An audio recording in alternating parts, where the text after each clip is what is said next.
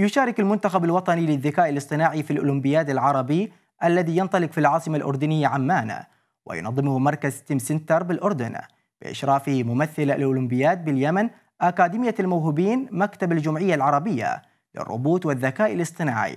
ويضم منتخب بلادنا المشارك في المنافسة طلاب كلية العلوم التطبيقية والإنسانية بجامعة المهرة وطلاب ثانويات سماع عدن والنورس النموذجيتين وثانوية الجودة الدولية. حيث ستتم مشاركة عدد من الفرق حضوريا وفرق أخرى بشكل غير مباشر.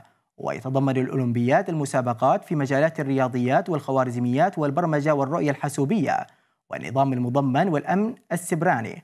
وتأتي مشاركة طلاب الجامعات والثانويات بهدف إكسابهم مهارات القرن الحادي والعشرين وبناء قدراتهم المهارية والعلمية في مجالات الذكاء الاصطناعي ليصبحوا قادرين على مواكبة المتغيرات الحديثة والتقنيات الهامة التي أصبحت من الضرورات في حياة الشباب الطامحين للحصول على وظائف المستقبل النوعية.